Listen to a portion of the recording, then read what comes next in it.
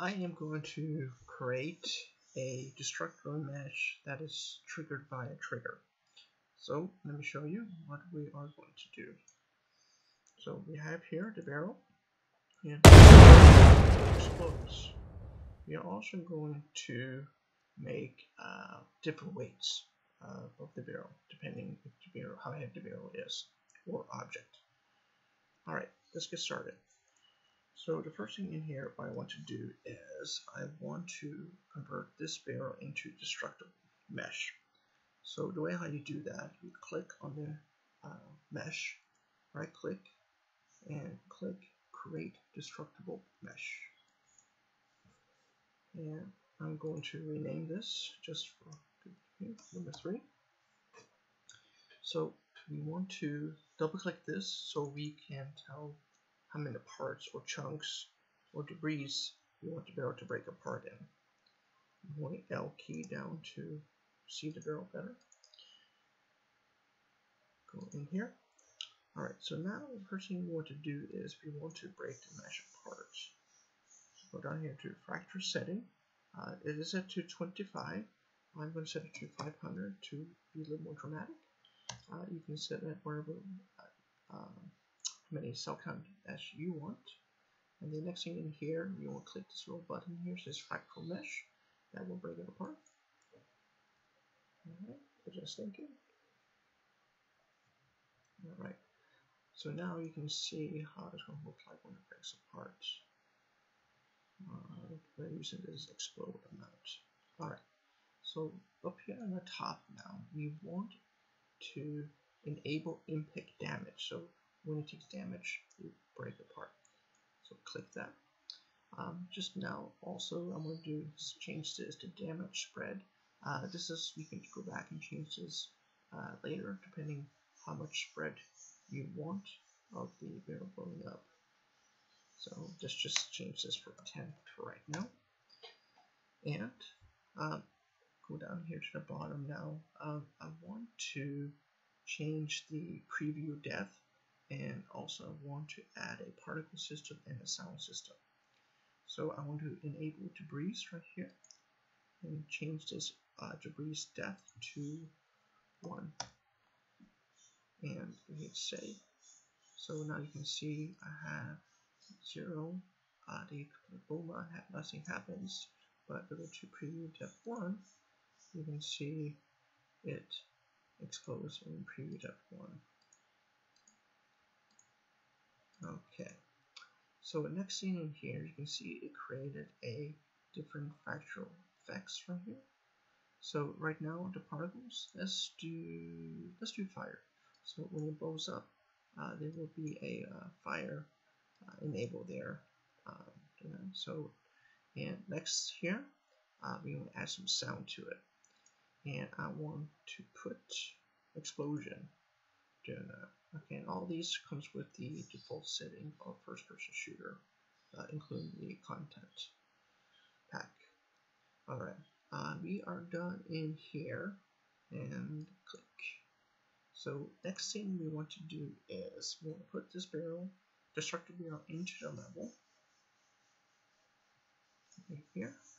And next thing here, we want it to enable its um, simulate physics. So click this. And we want to start wake. This turn off start wake. So we start it doesn't explode right away. So if we hit play it should blow up.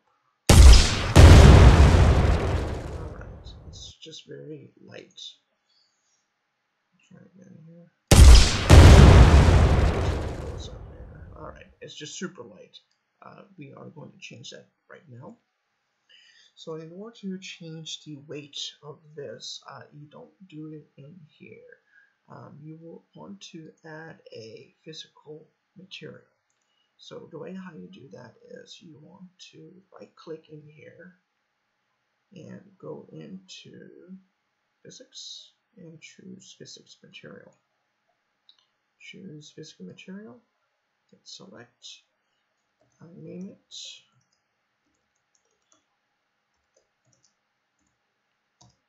Okay, and now double click this uh, physical material, material. And the way how you control the weight is right here, uh, the density. I'm going to change this to 50. And you can come back here and change it wherever you want, depending how heavy you want your object to be. So we hit save. So now we hit play. This should be. Oh, forgot to do one thing. I forgot to put it in the uh, physical material override. So up here, drop it now. And now let's play it. Apply. It is much more heavier. So just go back in here, just show you. Let's do 10. Let's say should be lighter.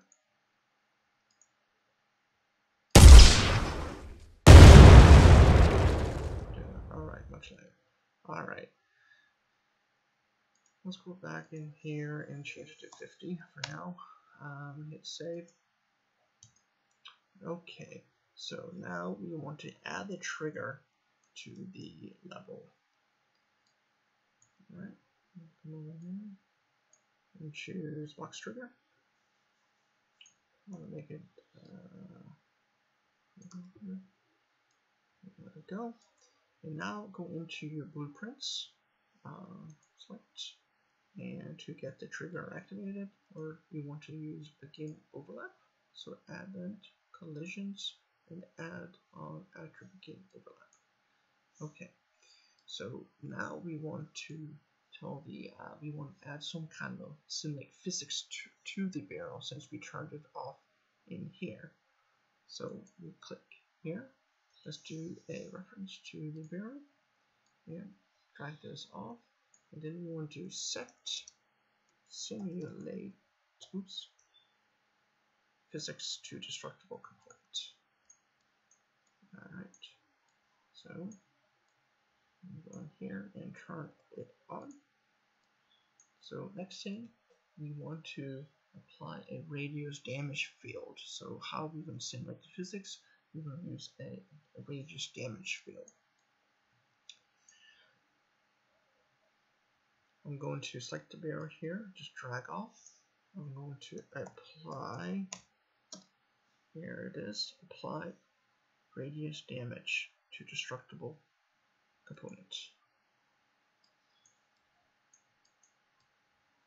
Go up here, we want to connect.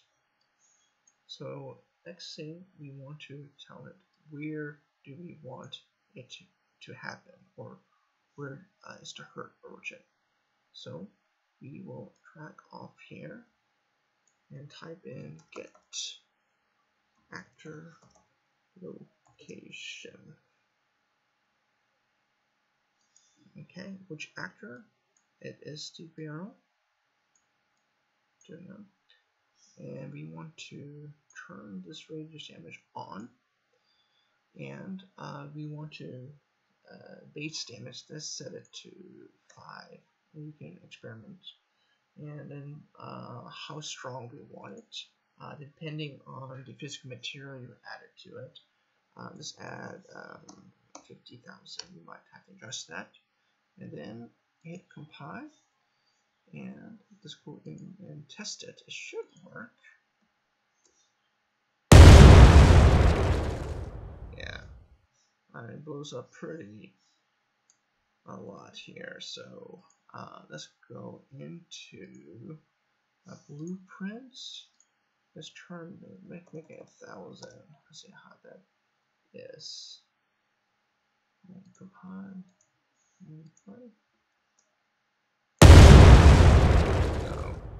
it's kind of just goes slowly, softly down.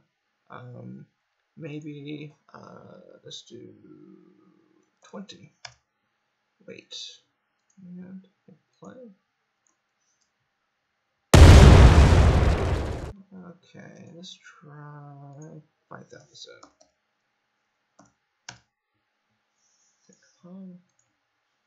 and we had